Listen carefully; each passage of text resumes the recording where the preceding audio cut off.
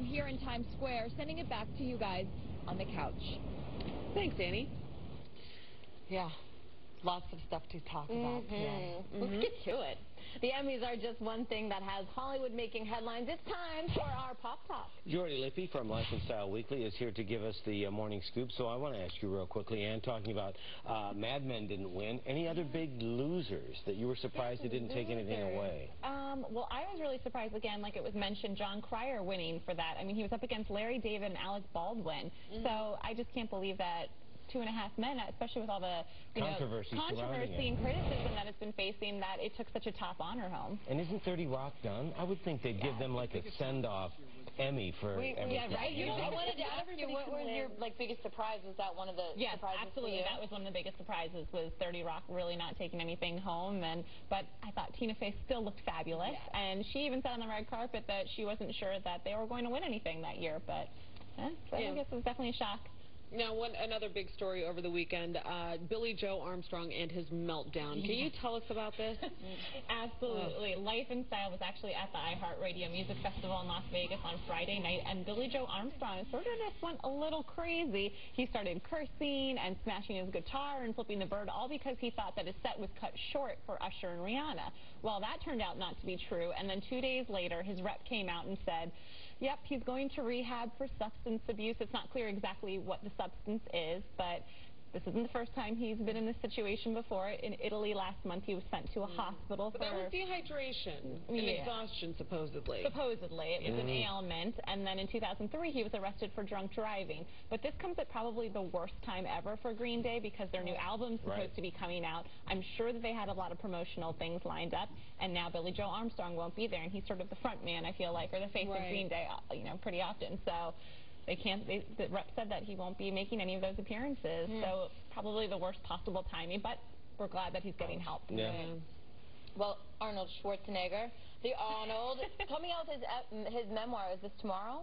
Um, I believe yes, it's tomorrow. Soon. Anyway, he yes. about the moment when he comes clean, about his love child. He doesn't stay away from controversy, does he? Yeah. What do you think about this book? I think it's absolutely insane. I mean, he talks about the entire details about this affair. He waits until the end of the book, obviously, Oh, so to reveal everything. So you got to go through the whole 600 pages or whatever it is to get to it.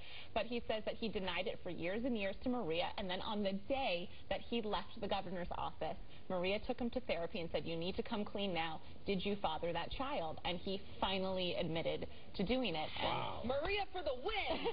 Seriously. but he'd been lying all those years, and it was just, you know, it was all for the politics, I assume. And I I found his excuses in the book a little bit lame. He said mm-hmm. that he was embarrassed, he was addicted to lying, and he didn't want to come clean to Maria's family. Obviously, she was part of the Kennedy clan, so he was embarrassed by that.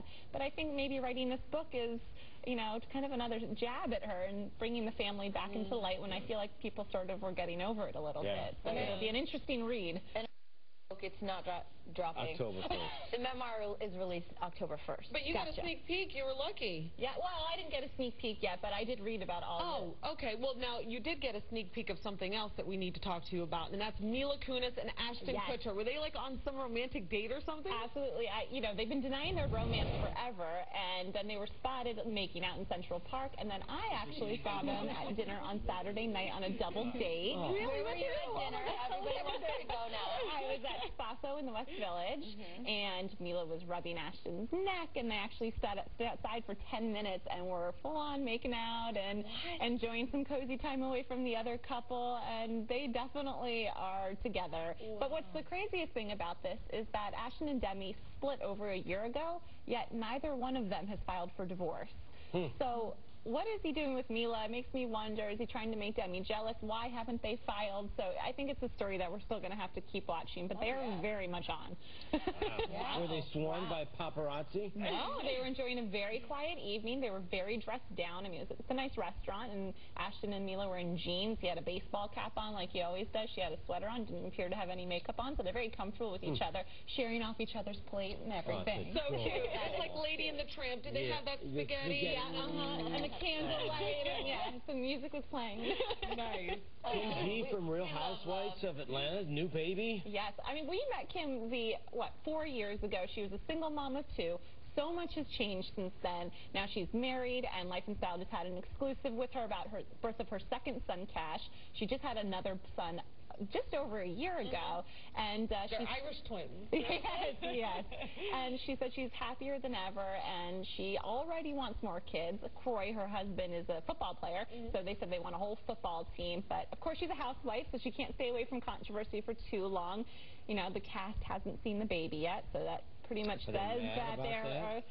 I mean, Well, well, she said, well, she's had some issues with the other Exactly, housewives, that's right? the point. So I don't think uh, you know anything's been resolved just yet. And she had to move out of her mansion into a townhouse Oh, when she the was six months pregnant, and um, even her own estranged mother hasn't seen the baby yet. So there's still plenty of drama in Kim's life, but she is much happier. She told Life and She should be on a reality show. You know, I think we might see that unfold Okay, on the good. Real This is her Housewives fourth New baby. Jersey. fourth baby. Yes. She's got two older daughters. Two older daughters, that's correct. And then she just had a son 15 months ago, so she is just popping them out. Well, No congrats, congrats to her from the couch. a medical term.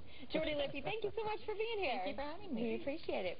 All right, a Harvard professor says he knows the secret to happiness, and he is live on the couch to share his tips. And it's one of the most